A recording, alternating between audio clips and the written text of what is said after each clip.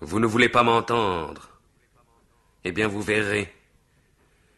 Votre tiède épouse, je veux dire, votre conscience, sera déshonorée, endurcie. Vous mourrez dans une terre souillée, dans la fange de vos péchés, et vous irez à la maison du diable. Vous voulez que je me taise, il vous déplaît que je prophétise. Vous devriez plutôt me remercier, puisque je vous mets sous les yeux les calamités qui vous attendent, et je vous apporte le remède pour y échapper.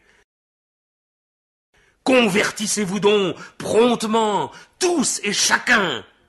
Qu'en dites-vous maintenant, vous, les tièdes, que mes paroles faisaient en rire?